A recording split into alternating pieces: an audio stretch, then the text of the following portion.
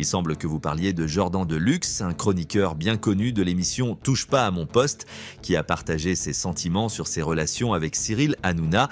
Il a évoqué sa crainte des mises au point, parfois musclées de l'animateur. Après les émissions, Jean-Michel Maire a effectivement partagé ses appréhensions concernant Cyril Hanouna dans la piscine de Jordan Deluxe. Il a expliqué que même s'il connaît bien l'animateur et qu'il a une relation de longue date avec lui, il reste parfois inquiet des mises au point musclées que Cyril Hanouna peut faire après une émission.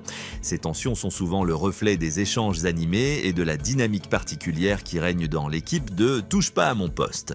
Jean-Michel Maire a donc un rapport assez tendu avec Cyril Hanouna malgré leur longue collaboration.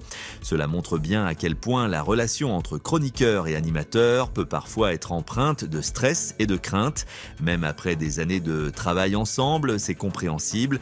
Les critiques peuvent être très difficiles à gérer, surtout quand on est sensible.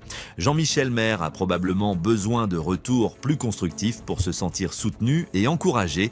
C'est intéressant de voir comment les différents membres de l'équipe de Cyril Hanouna réagissent aux critiques. Jean-Michel Maire a donc toujours eu une relation complexe avec Cyril Hanouna. Il respecte la manière dont Hanouna gère l'émission, mais ses méthodes peuvent de parfois le rendre anxieux. Les critiques de Hanouna semblent avoir un impact significatif sur lui, d'où ses appréhensions lorsque son patron l'appelle.